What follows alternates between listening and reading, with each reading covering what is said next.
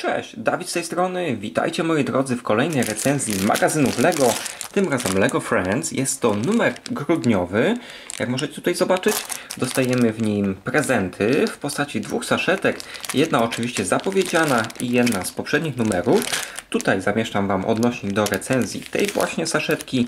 Natomiast za chwilę zobaczymy sobie dodatek do tego numeru. Najpierw jednak tradycyjnie oczywiście rzut oka na sam magazyn. Tutaj mamy reklamę, spis treści, nasz kominek. Bardzo ładnie on wygląda. Standardowe elementy, nie widzę nic wyjątkowego. Oprócz tego listu mam nadzieję, że to będzie nadruk, a nie naklejka. Tak więc byłoby bardzo miło ze strony LEGO.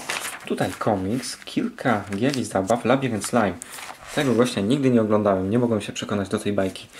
Jakoś, nie wiem, nie leży mi ten, ten SpongeBob, SpongeBob, gąbka, gąbka człowiek, chyba jakoś tak. Lecimy dalej, tam oczywiście był komiks, urocze bombki. W taki sposób można je przygotować, bardzo fajne.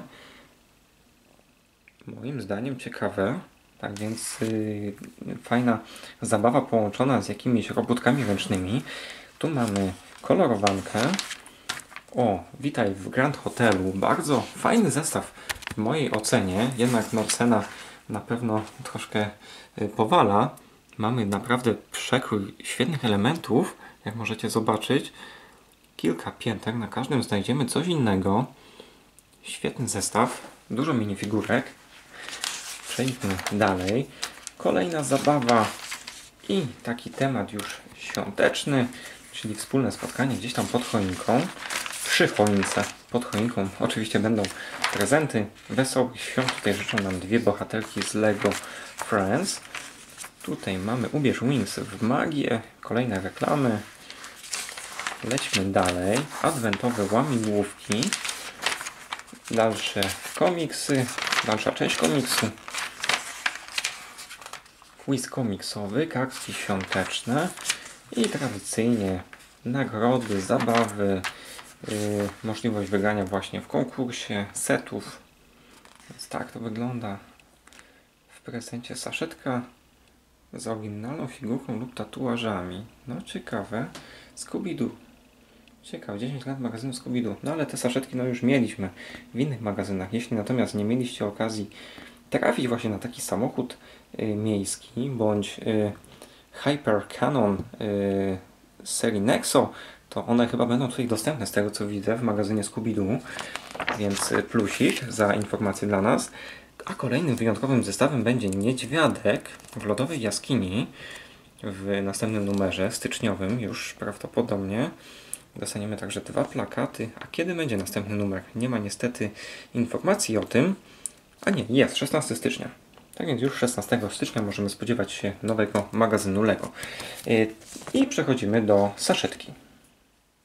Zestaw, jak możecie zobaczyć, jest bardzo mały, składa się z 23 elementów y, i wszystkie są w zasadzie przeciętne i często spotykane.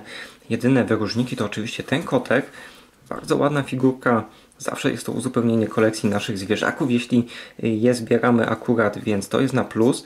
Tak on wygląda, można go oczywiście przypiąć do y, naszych studów, do naszej jakiejś podstawki. On się nam będzie tutaj bardzo dobrze trzymał. Możemy także umieścić na jego główce jakąś ozdobę, więc to też na plus. Kolejnym elementem, na który ja zwracam uwagę, to oczywiście nadrukowana koperta, więc to także jest y, plus dla tego magazynu. Natomiast pozostała część, no tak jak mówię, jest bardzo fajnym elementem jako sam w sobie, jednak składa się z prostych elementów. Nie ma zbyt wielu detali. Yy, wszystkie dostępne tutaj klocki gdzieś już na pewno widzieliście. Nie ma absolutnie żadnego wyróżnika, dlatego temu magazynowi mogę wystawić ocenę pozytywną. Yy, jeśli chodzi o uzupełnienie kolekcji, no jak najbardziej. Tutaj nigdy nie mam zastrzeżeń. Yy, mogłoby być po prostu więcej elementów. Jeśli już dostajemy przeciętne klocki, takie spotykane w większości setów, no to wolałbym, żeby jednak było ich trochę więcej, żeby ta zabawa dla dzieci była przyjemniejsza i dłużej trwała. Y, także Lego mogłoby pomyśleć nad wprowadzeniem na przykład jakichś alternatywnych budowli, y, z które można stworzyć z tej właśnie, z tego właśnie pakietu klocków. Y, no ale wiadomo, no tutaj działa zawsze wyobraźnia, więc ktoś, kto lubi przebudowywać tego typu konstrukcje, no to na pewno sobie poradzi, na pewno coś wymyśli, jakieś nowe zastosowanie dla tego zbioru elementów. Ze swojej strony cieszę się z tego i z tego. Natomiast tutaj, no to gdzieś tam będzie sobie stać z boku pewnie. Y, dzięki Wam za obejrzenie recenzji. Pozdrawiam i do następnego. Cześć! Oczywiście magazyn warto kupić, ponieważ dostajemy dodatkową saszetkę, dlatego ta liczba elementów względem ceny już jest lepsza i także tutaj dostajemy takie klocki, które są dość nietypowe. Dlatego moja ocena ostateczna na plus. Dzięki, cześć!